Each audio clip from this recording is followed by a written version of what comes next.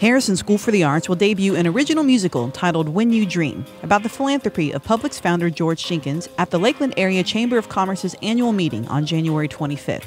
Harrison principal Daryl Ward wrote the musical after being approached by Janice Tedder Jones, immediate past chairwoman of the chamber.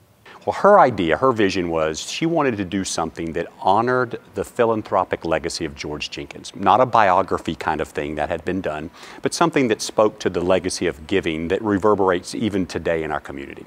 Good morning, Mr. George. The musical begins with Jenkins being turned away by new owners of the grocery store chain he worked at before going into business for himself. And I started with a song that sets the tone called When You Dream, which harkens back to when the famous story of when he was managing in the 30s and he had some ideas for the new owner so he went up to atlanta and asked to see him and he sat out in the waiting room and he could hear the owner talking about his golf game in the in the meeting and never did see him that moment of rejection becomes Jenkins' inspiration. He returns home, goes into business for himself, becomes hugely successful, and is able to give back to his community.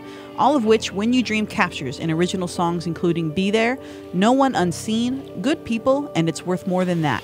Six, seven, eight.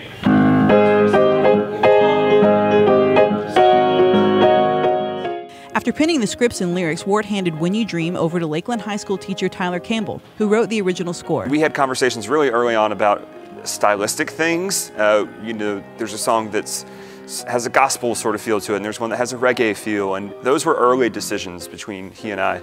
Um, but it was the words that really allowed me to create melodies and harmonies that would reflect what was there in the text. Harrison teachers Susie Lambert and Laurel Renfro were brought in to co-direct the production. I'm a pretty tough critic, and I am honest with people when I say people go, "Your principal wrote the show," and I said, "Yes," and an English teacher at Lakeland wrote the music, and they go, "Someone went, well, is it good?" And I said, yeah, it's really good. The music is good. I'm proud of this work.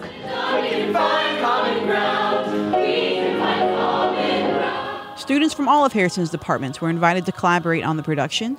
Senior Cameron Brooks got the call to choreograph. Whenever we came with good people, Dr. Ward definitely said community. This song is about community. So we really wanted to have the Publix workers and the employees coming together and showing that, um, that friendship with them. The students have provided so much to this process creatively. I mean, there's marks of student choreography all over this thing.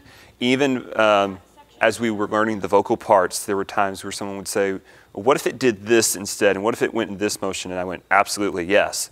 So I write this thing and it's two-dimensional. It's just words on paper. I give it to Tyler.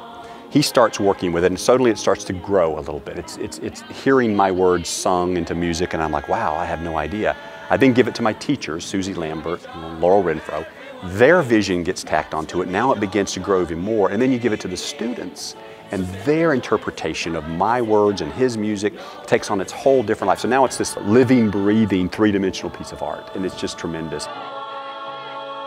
This is all a gift, you know, a gift to our to our principal who asked us to do this, a gift to our community, a gift to the chamber, you know, saying yes, we appreciate all that you do.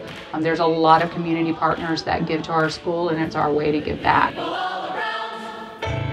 Learn more about the arts programs of Harrison by visiting their website at harrisonarts.com.